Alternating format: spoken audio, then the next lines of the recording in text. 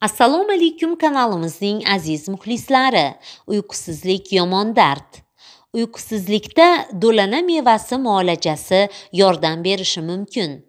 U uyqusizlik dardiga chalinganlarga ishonchli do'st va madadkor shuningdek tungi bedorlikka barham beradi. Buning uchun qip qizil do'lananing maydalangan quruq mevasidan ikki osh qoshiq olib bir yarim stakan qaynagan suvga soling va tindiring. Uni uch mahal ovqatdan o'ttiz daqiqa oldin ichasiz. Tindirma nafaqat uyqusizlarga balki yurak og'rig'idan shikoyati borlarga ham foydalidir. Yana yaqinlaringiz va shifokoringiz bilan maslahatlashing. Kanalimizga obuna bo'ling layk bosing va kommentariya qoldiring.